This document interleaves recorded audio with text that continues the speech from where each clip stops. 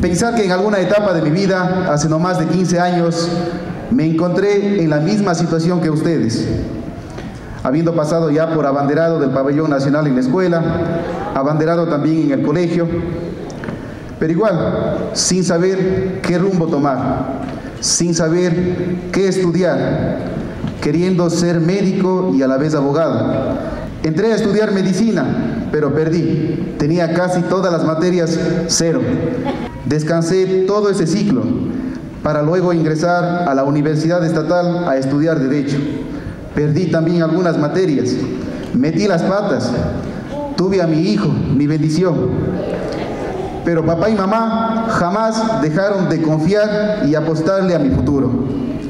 Hoy soy abogado, soy alcalde y mañana Dios bendecirá. He transcurrido en mi corta juventud trabajando desde vender papas en la oficina de papá, luego en mi propio consultorio.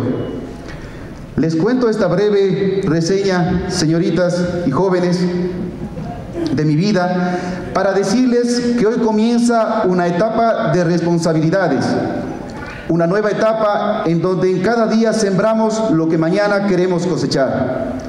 Consideren siempre que no todos son amigos y no todos nos quieren ver bien. A lo mejor tienen más que uno, pero envidian cada uno de nuestros logros. Enfóquense cada día en que este terruño que nos vio nacer es fuente de trabajo, que aquí está nuestro futuro. Tengamos siempre presente que somos nosotros, en apoyo de los nuestros, quienes vamos a aperturar las puertas más complicadas, a generar nuestras propias fuentes de trabajo, como yo hoy lo estoy haciendo. Estamos trabajando muchos alumnos de esta institución en la municipalidad y es algo que nos debe enorgullecer a cada uno de nosotros. Recuerden jóvenes que todos nuestros días son una batalla en la que o ganamos o perdemos, no hay más opciones.